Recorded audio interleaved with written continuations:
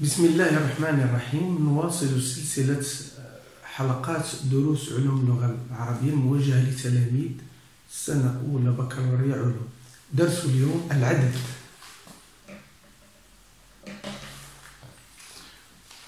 وسيكون عندنا في درس العدد نلاحظ صورة العدد ثم إعراب العدد.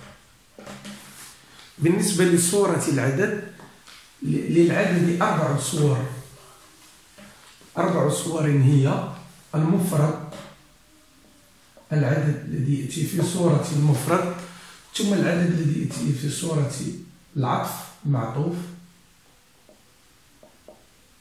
ثم العدد المركب ثم ألفاظ العقود. بالنسبة للعدد المفرد العدد المفرد نأخذ من العدد من ثلاثة إلى عشرة. وسأقول لماذا استثنينا واحد واثنان مع العلم أنها تأتي في صورة المفرد. أولا من ثلاثة إلى عشرة العدد يخالف العدد المعدود. يخالف العدد المعدود. فلو قلنا مثلا جاءنا ثلاثة ضيوف. جاءنا ثلاثة ضيوف. نعلم أن ضيف كلمة ضيف هو اسم مفرد مذكر. ولذلك نحن جئنا بالعدد مؤنثا. خالف العدد المعدودة خالف العدد المعدودة. إذن العدد في صورة المفرد يخالف معدوده. إذا كان المعدود مذكرا يأتي العدد مؤنثا. نقول جملة أخرى مثلا فيها المعدود مؤنث. نقول مثلا في الفريق مثلا سبع لاعبات. في الفريق سبع لاعبات لاحظ سبع جاءت في صورة المفرد وقد جاءت مذكرة لماذا؟ لأنها خالفت المعدود لأنه مؤنث. وهكذا. بالنسبة لإعراب العدد فإنه يعرب حسب موقعه في الجملة. في الجملة الأولى إذا قلنا جاءنا ثلاثة إذا جاء فعل ماض مبني على الفتح. هنا دال على الجماعة في محل نصب مفعول به وثلاثة فاعل مرفوع بالضمة الظاهرة على آخره مؤخر يعني تأخر على المفعول به وضيوف تمييز مجرور بالإضافة لأنه ميز العدد. ثلاثة ماذا؟ ثلاثة ضيوف وقد مر معنا في الدرس السابق التمييز. بالنسبة للجملة الثانية في الفريق سبع لاعبات في الفريق شبه الجملة من الجار والمجرور في محل رفع خبر مقدم وسبع مبتدا مؤخر مرفوع بالضمه الظاهره على اخره ولاعبات تمييز مجرور بالاضافه. وهناك وجه اعرابي آخر لا ممكن أن نقول لاعبات تمييز منصوب بالكسره النائبه عن الفتحة لأنه جمع مؤنث سالم. إما أن يعرب مجرورا بالإضافة أو يعرب تمييزا منصوبا وعلامة نصبه الكسرة النائب عن الفتحة لأنه جمع مؤنث سالم وجمع المؤنث سالم نعلم أنه ينصب بالكسر هذا بالنسبة للعدد المفرد من ثلاثة إلى عشرة. بالنسبة لواحد واثنان لماذا استثنيناهما؟ لأن العدد واحد واثنان. لا يخالف العدد المعدود بل يطابق يطابق العدد المعدود. يطابق العدد المعدود. وغالبا يأتي العدد بعد المعدود. مثلا نقول في القسم اثنتان من البنات. لا قلنا اثنتان. ها هي التاء التأنيث في المثنى. لماذا؟ لأن البنات مثنى. وفي القسم طبعا ستعرب إعراب الجملة التي سبقتها يعني أنها خبر مقدم شبه جملة. واثنتان مبتدأ مؤخر مرفوع بالألف لأنه ملحق بالمثنى ملحق بالمثنى ومن حرف جر والبنات تمييز مجرور ب بحرف الجر منها. تمييز لأنه ميز لنا الثلاثه وهكذا. بالنسبة للصورة الأخرى هي صورة العدد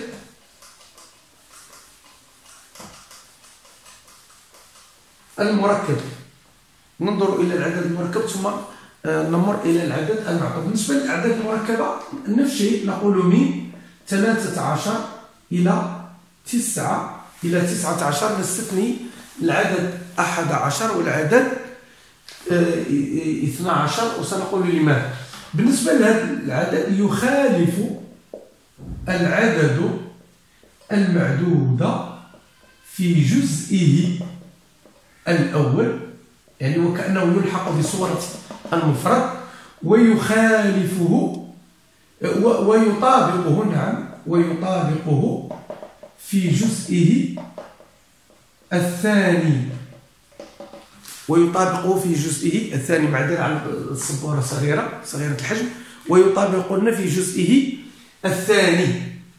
لاحظوا عندنا مثلا جملة. لاحظوا نحافظوا على الجمل مثل شفنا سابقا نقول مثلا في الفريق مثلا ثلاثة أو نقول رقم آخر. نقول مثلا ستة عشر لاعبا. لاحظ في الفريق ستة عشر لاعب لاحظ قلنا بأن يخالف العدد المعدود في جزئه الأول. الجزء الأول هو الستة. العلميين يعرفون هذا.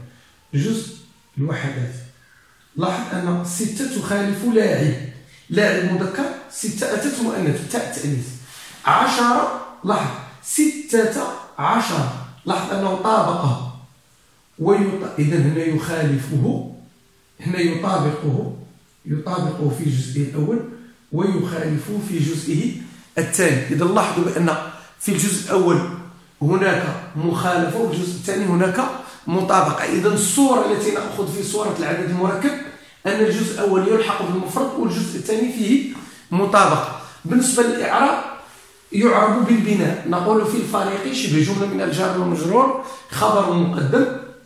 وستة عشر كنعربوها كاملة تقول ستة عشر. لاحظوا مبني على الفتح. مبني على الفتح في محل رفع أو مبني على فتح الجزئين الجزء الأول والجزء الثاني. نقول مبني على فتح الجزئين الجزء الأول والجزء الثاني في محل رفع مبتدأ مؤخر. وطبعا لاعبا تمييز لأن ميزت لنا العدد تمييز منصوب. أعيد الإعراب. إذا هذا قلنا شبه جملة من الجار والمجرور في محل رفع خبر مقدم. وستة عشر مبني على فتح الجزئين الجزء الأول والجزء الثاني في حال الفتح يعني لا يمكن أن نقول في الفريق ستة عشر أو بالفريق ستة عشر. دائما تأتي مبنية على الفتح ولذلك نقول بأن تلزم هذه الحالة دائما. البناء على الفتح مبني على الفتح في محل رفع حتى ولو أتى هذا حتى ولو أتى المبتدأ في هذه الجملة مثلا بناسخ في حالة النصب فإننا نقول مبني على الفتح في محل نصب. ولكن هنا لأنه لا يوجد أي نسخ نقول مبني على الفتح في محل رفع مبتدأ مؤخر ولاعبا تمييز منصوب. بقى لنا المشكل الآخر اللي قلنا ديال الاستثناء ديال أحد عشر واثنا عشر. إذا بالنسبة لهذه مثلا يقول الله سبحانه وتعالى في سورة يوسف إني رأيت أحد عشر كوكبا. إني رأيت أحد عشر كوكبا والشمس والقمر. رأيت أحد عشر. لاحظوا رأيت أحد عشر كوكبا. نلاحظ أن هذا الحكم لا يسري على العدد 11 أو 11 لماذا؟ لاحظوا أحد جاءت مطابقة لكوكب. جاءت في حالة اش التذكير مذكرة لأن الكوكب مذكر وعشرة مذكرة لأن الكوكب مذكر. إذا فهذه القاعدة لا نطبق على 11 بل نقول أن العدد يطابق العدد المعدود في جزئين. يطابق العدد المعدود في جزئين في الجزء الأول والجزء الثاني. وبالنسبة للإعراب نفس الإعراب نقول بأنه مبني على فتح الجزئين في محل نصب مفعول به. حتى ولو أنه في حالة النصب نقول مبني على فتح جزئين. لأن رأيت فعل وفاعل. رأيت فعل ماض مبني على السكون لاتصاله بالتاء المتحركة والتاء المتحركة في محل رفع فاعل. وأحد عشر مبني على فتح الجزئين في محل نصب مفعول به. وكوكبا تمييز منصوب. بالنسبة ل 12 اللي فيها مشكل في الإعراب لأنها تعرب مف... كل عدد العدد المركب يعرب مجزأ مثلا يقول الله سبحانه وتعالى في القرآن إني آه، فانفجرت منه اثنتا عشرة عينا. انفجرت منه اثنتا عشرة عينا. عين. لاحظوا؟ لاحظوا اثنتا عشرة عين. لاحظوا أن اثنتا تطابق العين العين مؤنث. وعشرة تطابقها إذا عين مؤنث طابق العدد المعدود في جزئيه طابق العدد في جزئيه المعدود. المعدود أتى مؤنث اثنتا مؤنث وعشرة مؤنث أيضا. بالنسبة للإعراب لا نعربها كما عربنا من 13 19 أو العدد 12 بل نقول أو أو العدد 11 بل نقول انفجرت يعني انفجرت فعل ماض مبني على الفتح وتاء التأنيث ساكنة لا محل لها من الإعراب منه جار ومجرور. واثنتا عشرة هذه كلها فاعل. كلها فاعل هو الذي انفجر. ولكن في الإعراب نقول فاعل جزءه الأول اللي هو اثنتا جزءه الأول ملحق بالمثنى مرفوع بالألف. لأن يعني المثنى يرفع بالألف. إذا أعيد جزءه الأول ملحق بالمثنى مرفوع بالألف. وجزءه الثاني عشرة وجزءه الثاني مبني على الفتح في محل رفع. وكنا قلنا سابقا أنه فاعل يعني مبني على الفتح في محل رفع. وعينا طبعا تمييز منصوب. إذا هذا هو المشكل في الإعراب في الحالة.